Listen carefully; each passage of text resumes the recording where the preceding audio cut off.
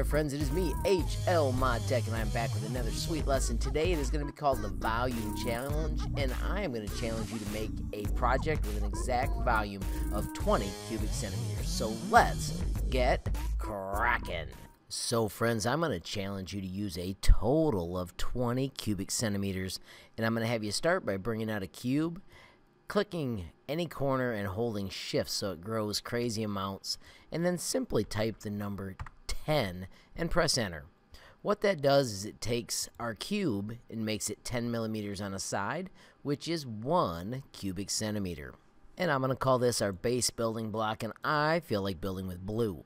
So to build our cool designs, where each of you should make something different, we need to take this and make it different sizes. I'm going to scroll out a bit. I'm going to do Control D to duplicate it.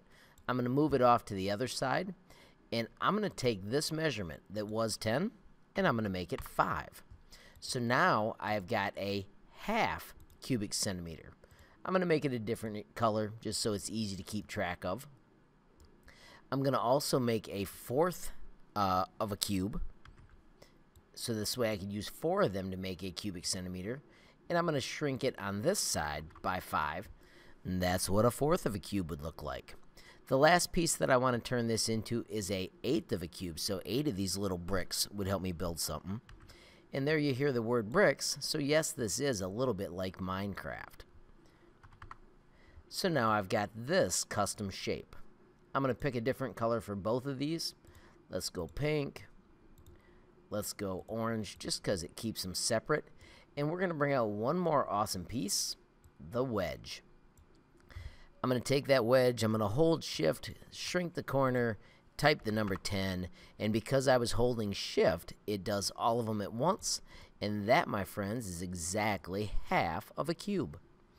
I'm going to keep that color, and I'm going to prove to you it's half of a cube quick by clicking Control D and then I'm going to click on the cube, switch to flip, and I'm going to stand it up, and then I'm going to switch it this way with the flip tool, so it proves same shape. Now we can also use a half of one of these by taking the measurement, and I'm going to move it aside so it's easier to see me do it, and changing that to 5. If you're an advanced student out there, you can Google how much a sphere would be or calculate any of the other shapes if you want to use them, but these are the ones that I'm going to recommend. Once again, your challenge is to build something cool using 20 cubic centimeters. For my example, I'm going to use a funny little robot. I'm going to start by using this block for his feet. I'm going to do Control D and put them side by side. And then I'm going to make sure that I'm looking at it from the front so I know the right way I'm building. And I really like those front corner views. So those are his two feet sticking out. Let's use the same parts for his legs. I'm going to do Control D on both of those. And then I want to look at it from the side corner so that it's easy to stand those two new ones up. Remember, if you stay close to the shape, it does 90 degrees. I want to lift them all the way up on top of this piece, so I'm going to do the work plane trick, where I simply click work plane click the place I want to put them, and when I hit the letter D, it drops them to that height.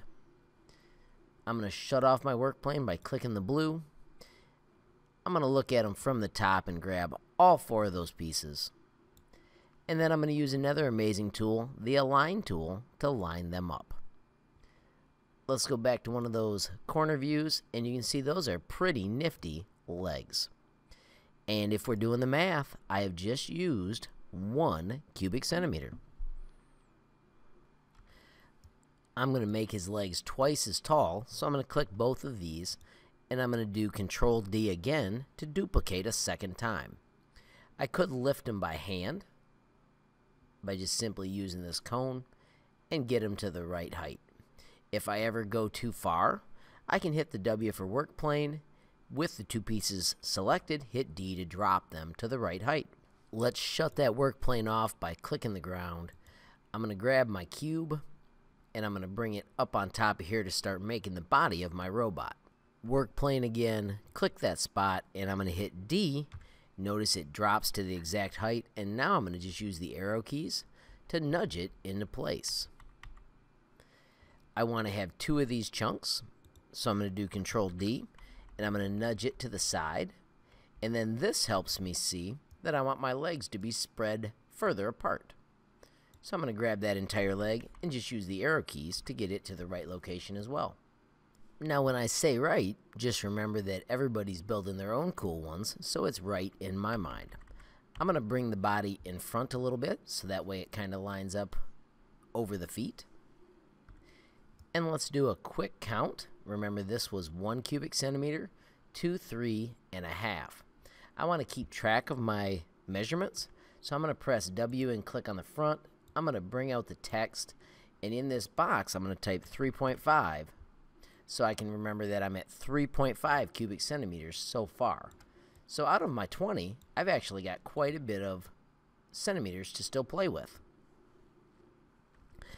Let's press W to get that work plane back to the normal location.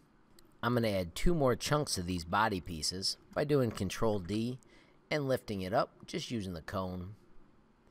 If you go too high, you can use that drop trick. If you do it exactly right and don't touch anything else, you can press Control D and it will make an exact copy of what you just did. Keep in mind that I want to make sure mine is not incredible so you can make one more incredible than me. I'm going to take this where it's 3.5 plus 4, so we're at 7.5. And I'm going to make my crazy robot look in both directions by duplicating it.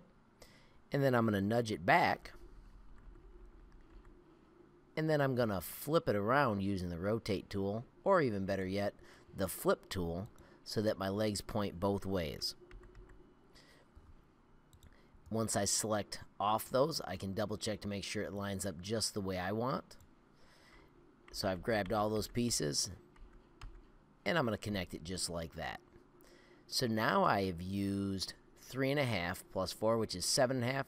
So I've used 15 of my blocks for my crazy robot. I'm going to give him a head by simply clicking this piece, setting the work plane on top, and doing D for drop. And now I can use the arrow keys to move that into location where I would want the head to be.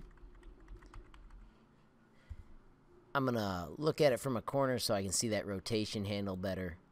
And I'm going to turn the head around so I can see it.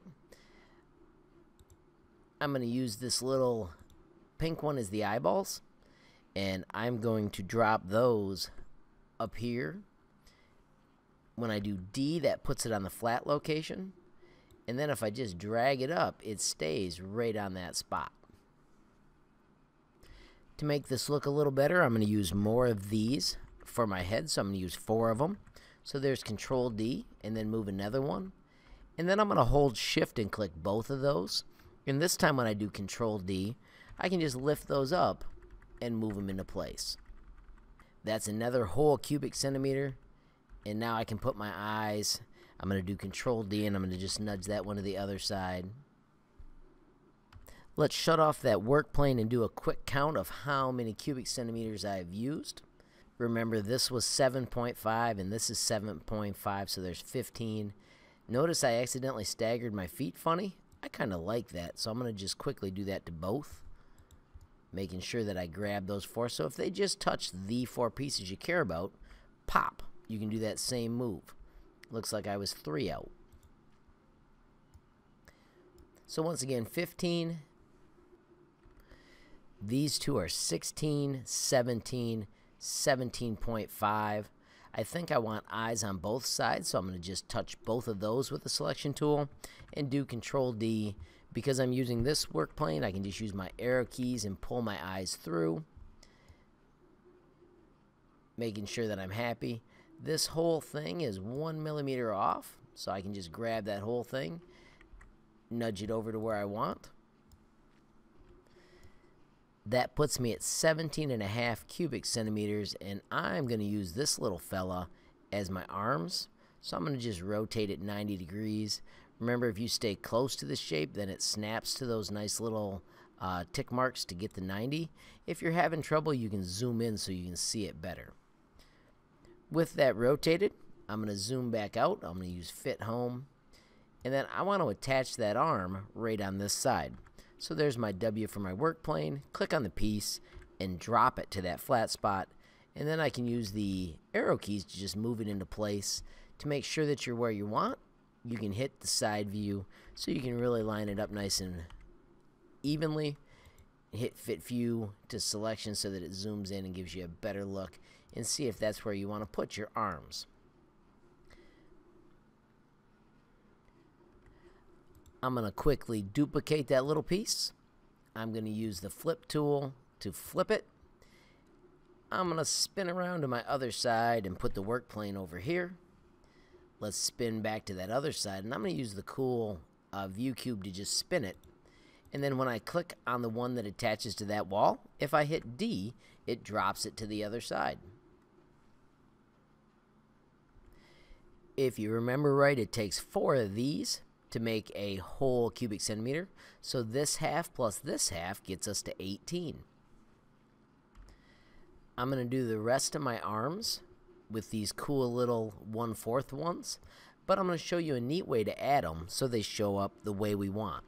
When you click W, click on the angled work plane you want, and just go back to your normal box and do the same trick where you stretch it, but then type 5 for the sides. You can move it to where you want, and then we want the length of them to be 10. So it was 5 on a side, but 10 in length. And remember, we can use four of those to make a whole cubic centimeter. So I'm going to do Control D. I'm going to click on the new work plane, and I'm going to press D to drop my second piece of arm right there. I'm going to click Shift on those, and if we look at this from that left corner, we can see that it needs to move over one and it looks like maybe down one to get it as perfect as we can.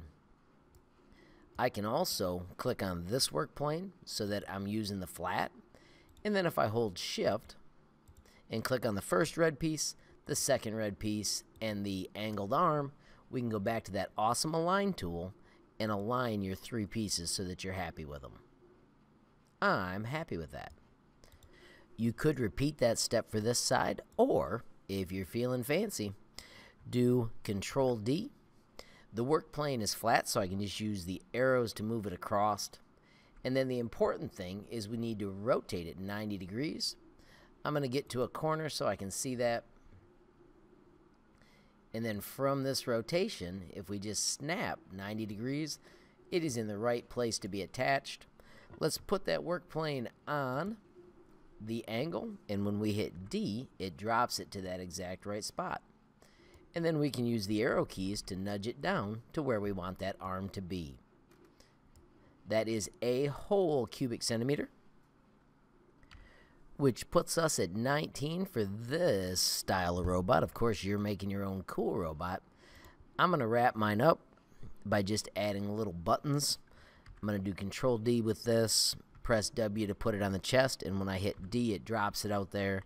And I'm going to move it down, and I'm going to put these in the middle. I'm going to do Control D again. That one I need to drop back to that work plane. Remember, it takes eight of these. So I'm going to put three of them right there. Right now I'm holding shift. I'm doing Control D to duplicate. And I'm also going to put three back here. I'm going to hit D to drop them there, nudge them up to where I want, and then I'm going to take my last two and I'm going to make them as kind of ears. Control D. I'm going to hit W to drop it to the exact right height. With the D command, I'm going to hit W and click on this shape. I'm going to hit D to drop it. Use the arrow keys to nudge it. That was a right click rotate if you're wondering how I moved that. Now I'm going to hit Control D. Got to drop it back to that level, and I'm going to nudge it to the other side.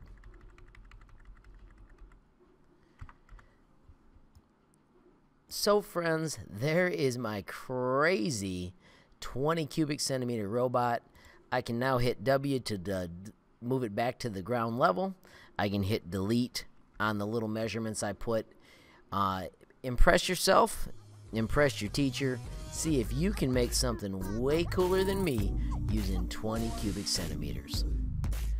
Alrighty, friends, so you have just completed the 20 cubic centimeter volume challenge. Uh, if you're in a classroom, I hope you had fun with this. If you did, please hit that like button. If you've got a question, comment, or suggestion, add it down below. If you haven't hit subscribe yet, what are you waiting for? Mash that subscribe button. And last but not least, hit that notification bell if you want to be the first to know if there's a brand new movie from me, HL Mod Tech. Thanks for watching. Have a great day.